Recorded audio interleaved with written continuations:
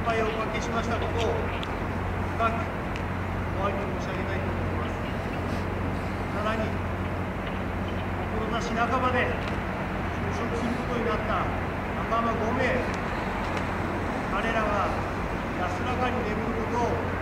祈っておりますここに海上保安協会佐世保支部長福田清俊様をはじめ多数のご来賓の分析を賜り巡視船奄美海域式を組合できますことは佐世保海上保安部職員一同の喜びとすることであり職員を代表して厚くとお願い申し上げます本日長きにわたり海上保安業務の第一層と活躍してきた巡視船奄美佐世保海上保安部に配属となり今日に至っております巡視船奄美は収益してから30年余りが経過しておりこの間に航海した距離は地球約15周分に相当する約33万件の実績を残しました。巡視船奄美は多くの功績を残してきましたがその最大の功績は平成13年12月に発生した九州南西海域における工作船事案への対応であります。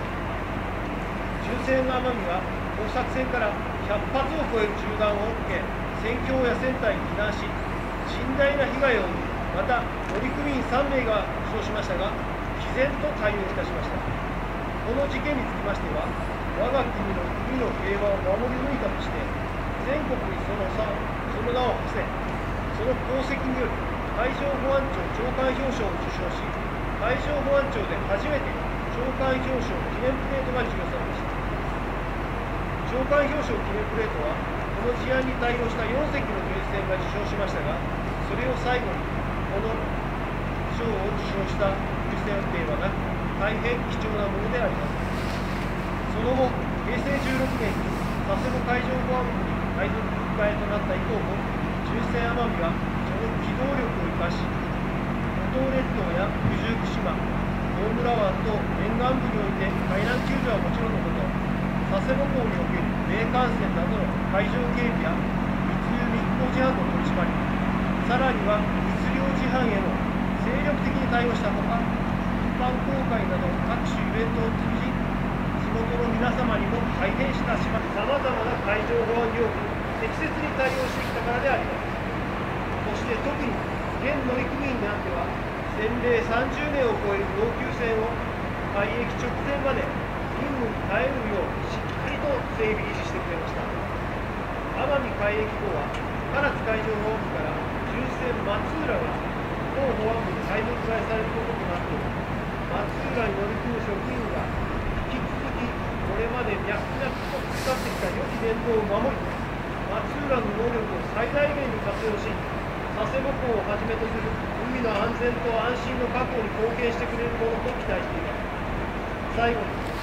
改めてこれまでの32年間日本の海の安全を守り続けてきたこの巡視船奄美に対しなる敬意を表すとともにその労をねぎらい深く感謝して私の海域の指揮といたします令和6年1月9日佐世保海上保安部長兵庫明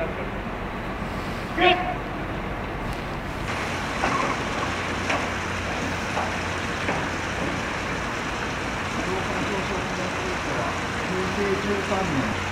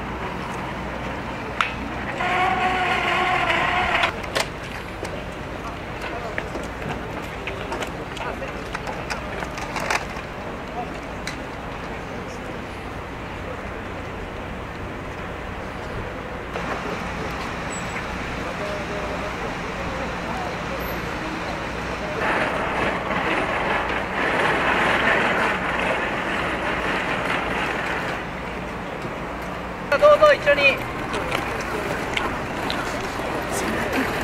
あれか、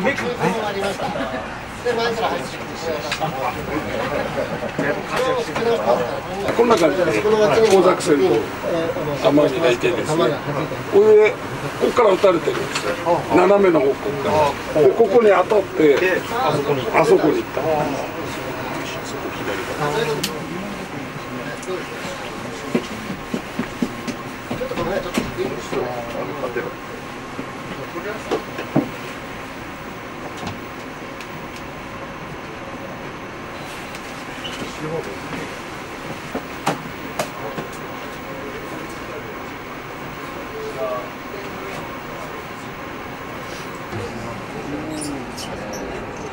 お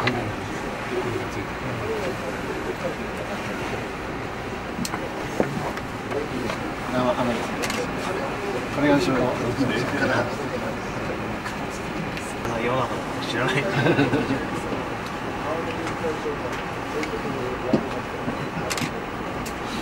31があれでの何をってのは日本で絶対考えられない。から